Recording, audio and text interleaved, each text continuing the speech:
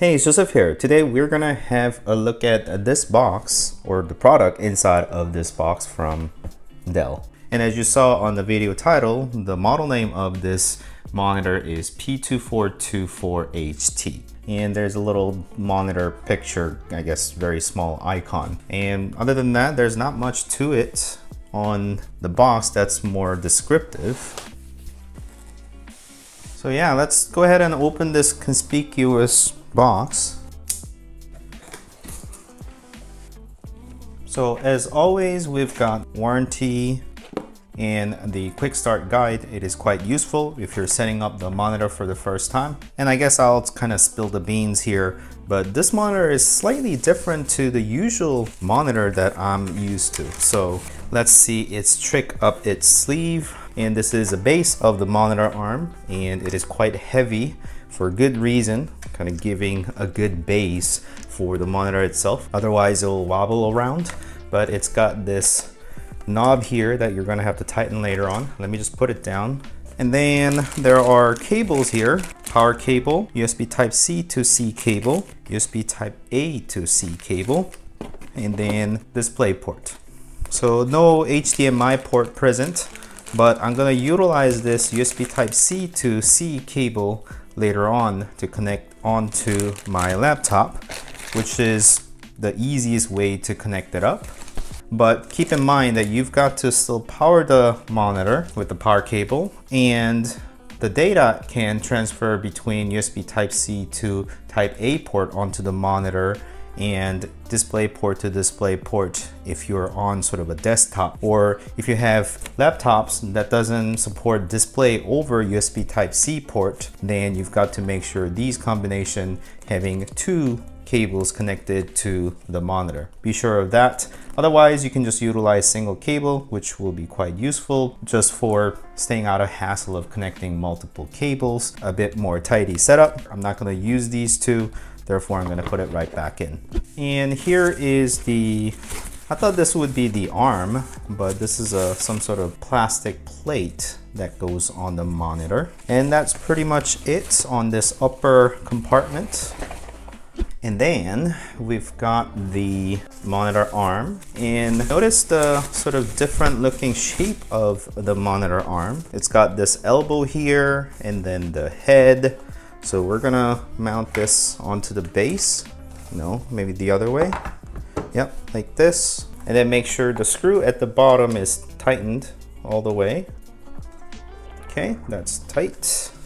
And notice how this can allow you to swivel up and down quite easily and left and right panning. And this is quite important because the monitor that we're about to check out has some features that normal monitors don't have. And in terms of getting the panel out, there is a bit of a diagram here that shows you how to take it out. Basically leave it in the box, take the arm up and use it to pry out of the box. So just kind of peel away the monitor wrapping here and make sure to just line this one up and it'll just kind of click in.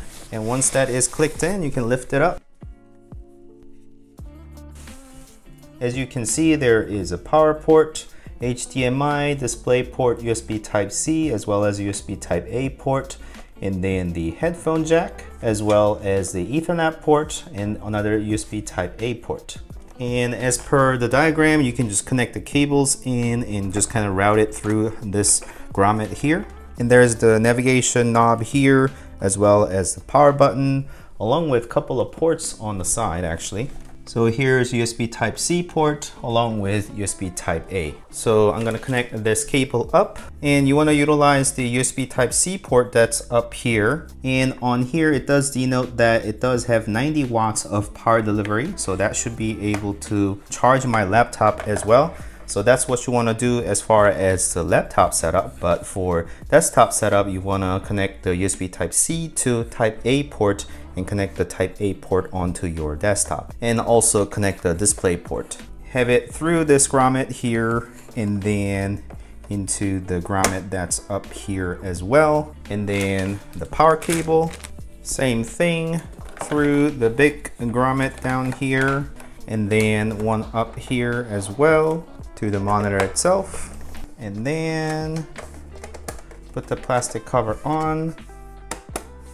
And cable management on this monitor is a bit more essential because you're gonna be expected to move this arm around quite a bit.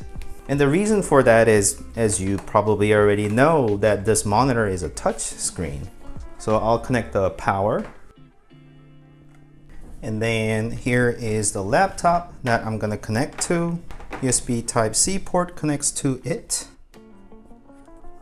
And I can already see the laptop is telling me that it is being charged. So the 90 watts of power delivery is charging this laptop as well. Be sure to check what's the minimum power range for your laptop for it to be charged. But since it is 90 watt, there's a good chance that your laptop is also going to be charged. First of all, I want to make sure the resolution is set correctly. This monitor is 16 by 9 ratio, so I want to make sure I set up the correct type of resolution 1920 by 1080 so I am duplicating the screen right now. As you can see I can touch the screen to navigate so I can close that up. And as you can see you can touch the monitor. I can go to note taking so you can certainly write on the monitor. And if you want to take a screenshot of your device and make some annotation, then you can snip it like an area like so. And then take this image and then you can start to make annotation on here. So make sure that is taken out and such.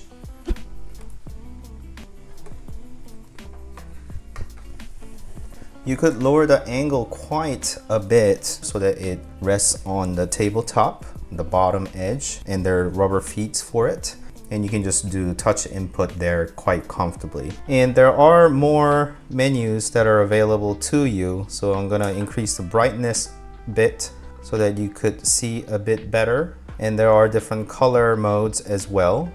Right now it's set as a standard, but you can set it to movie, game, warm, cool, custom color and such. You can do a bit more warm tone if you would like to have that. And I'm gonna go back and there is an audio setup as well. So you can set up the volume because it had a headphone jack, firmware, and you can reset all the menus here if you would like to. So I'm gonna go back out and I'm gonna go to YouTube and play some 4K videos. And I don't think this monitor has a speaker, so it won't be able to play the sound, but you can have the sound being played via the headphone jack that's connected to it. And I'm gonna set things to 1080p because this monitor is 1080p monitor, but this is looking quite nice actually.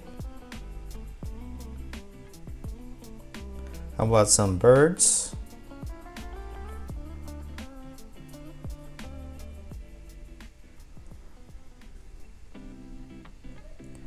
And I like the fact that the monitor is not glossy, it is matte screen. So even if you touch on it, it doesn't leave as much fingerprints around. And that is much more preferable than glossy screens where you end up leaving finger grease everywhere. So yeah, nice touch, pun intended. So let's go ahead and check out the specs of this monitor as well. So this is Dell 24 Touch USB Type-C hub monitor. So it does have the hub capabilities, charging your laptop and being able to connect to different type of peripherals through its side as well as on the back. There was another USB Type-C port as well as two other three other USB type A ports, you'll be able to connect your peripherals such as mouse, keyboard, speakers, and such. And it is flat screen, full HD. This one is 24 inch as stated, and the refresh rate is 60 Hertz. It is a full HD 1080p. I would prefer it to be maybe 22 or 23 inches, probably at 22 inches because the pixel density, you're seeing this monitor much up close Therefore, you want it to be a lot dense in terms of pixel density. However, they resorted to 24 inches. I guess I'll take whatever I can. In terms of the monitor adjustment, you saw that it can go up and down, tilt quite easily, but the panel is IPS, again, matte screen. I really like that aspect. Currently, it is running for $415 it can be on further sale, but the MSRP is $520, which is not cheap at all. But for a touchscreen, it adds a huge amount of value because you'll be able to have this as your presentation screen. You can do the swipe and pinch to zoom type of things. So that is going to be quite useful. Again, doing this demo is a lot easier because I'm not using a mouse, I'm using fingers to kind of navigate through. Enjoy clear audio and virtually edge-to-edge -edge view, three-sided ultra-thin bezel with a top-firing 3-watt speaker built into it. I did not realize that. So let me go actually test that out. Oh, the speaker was off. So let me go ahead and turn it back on. There you go. So there is a volume. So there is a built-in speaker that is top firing up here. So if you want to use that speaker on the monitor, you can certainly do so. Quite nice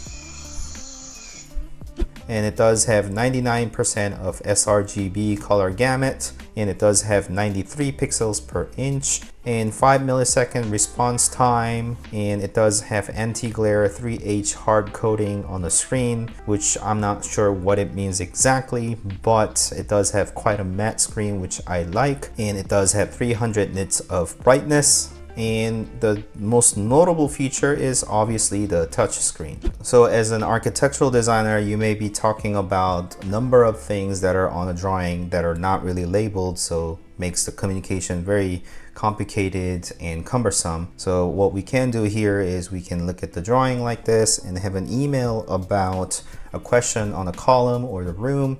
You make a quick snippet like so and then here I can highlight this column here, column A, column B, and we can talk about perhaps an opportunity to make this into a bigger room encompassing the two columns so that this becomes a completely new room and now we can just copy this and paste onto an email so that we make the communication quite easy. Quick snippet, quick annotation, and send away the image instead of saying this column, that kind of column.